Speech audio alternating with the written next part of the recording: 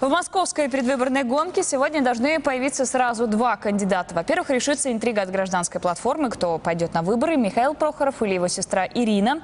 Или, может быть, кто-то третий. Некоторые российские СМИ уже написали со ссылкой на источники в партии. Зарубежные активы Прохоров успевает приоформить, но остается преграда – спортивный бизнес. Американский баскетбольный клуб «Бруклин Нетс».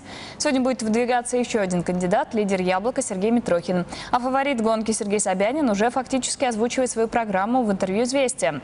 Из наболевшего – нелегальные мигранты. Без них Москва станет самым законопослушным городом в мире, считает Собянин, и поддерживает решение ФМС о въезде в страну по загранпаспортам.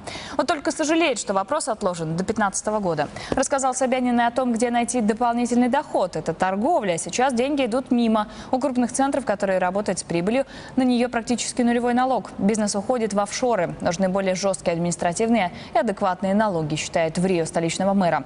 Бороться с главной московской бедой – пробками он предлагает глобально. Все должно стать другим. Общественный транспорт, метро, пригородное сообщение. Какими именно Собянин не уточнил, а вот выводить промышленные предприятия за не стоит. Никаких таких программ нет, разве что надо закрывать экологически вредное производство.